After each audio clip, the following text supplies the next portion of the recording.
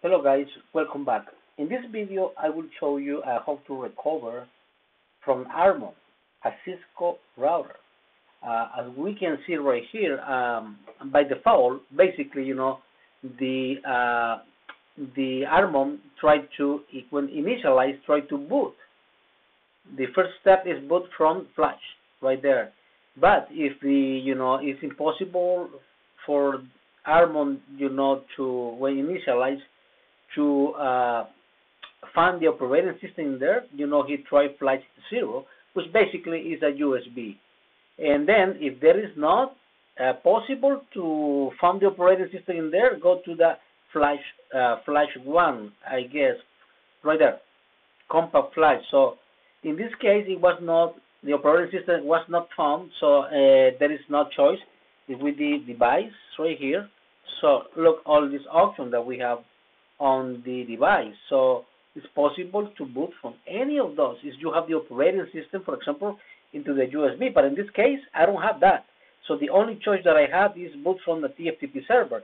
And, um, and there is a bit, you know, sometimes very convenient because uh, when I, you know, try to get support to customers, and I, and then, you know, the only choice is connect remotely to the a computer and then you know through uh, through the that remote section open uh, open uh, a console port, right?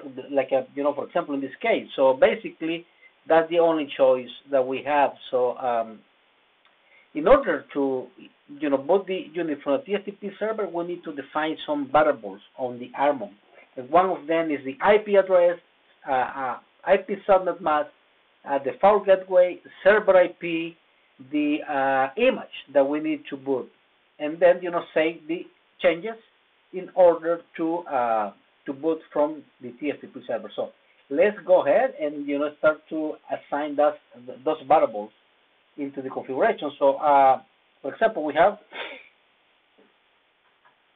IP underscore address equal 172.16 the one dot one forty.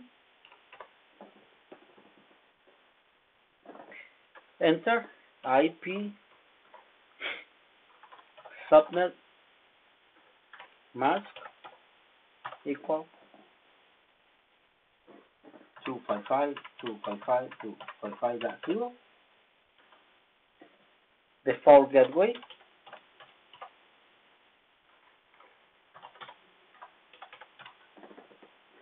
default gateway at the default gateway 172.16.0.1 and then the TFTP server, TFTP server IP address, of course, equal 172.16.1.102. So basically, what else we need? Oh, we need the TFTP file, TFTP underscore file equal, and I have the TFTP server, you know, the file that we need to boot, and this one is this one right here. That one right there. Copy. Like this. Paste. Enter. So now we need to save the changes, right? So in order to save the changes, we need to type the command sync. Basically, sync, and that will say all the changes of all these variables assigned to the ROMMON. Great. So now we need to execute the uh, one command in particular, which is right here. This one. This will TFTP image download. So TFTP the the MLD dash R. That's the command. And let me, let's see what happens when you execute that. All the IP parameters are fine. We save the configuration. We have the uh, IOS name. So let's try this. Right there. So let me tell you something very important is look the all the parameters. Uh, it's very important, you know. Look the GE port. It is a GE 0 dash 0. That means that, for example, if you have connect you have if you connect you know the RJ45 cable to it the Ethernet cable to the uh, GE0-1 on the router, of course it will not boot because by default the interface is the uh, gigabit Ethernet 0-0. So be careful with that. Sometimes that is one of the mistakes that people do. You know that the unit doesn't, I mean the process doesn't work because they have the connect, the, you know, the Ethernet cable and the ground interface. And look at that. Basically, the unit is booting from from you know from the TFTP server download. Look at the image right there. So now from here we can you know just uh, try to copy the operating system from the TFTP, right? And then um, or basically just you know just leave the unit boring from the TFTP. You you you can also do that. You know you need to obviously you know make some changes into the uh, gigabit Ethernet configuration for example, right here on the gigabit Ethernet uh, 0 0, that was a DHCP address uh, right here. Look at that. And 172.16.142. So uh, basically, you, you need only to um, to tell the, the router that you need to boot from there. Enable uh, computer terminal, uh, boot system let's say the options. See, TFTP. And then right there, we need to specify what is the address of the TFTP server, 172.16.1.1 and the operating system name. Then we already know that. Paste. Enter.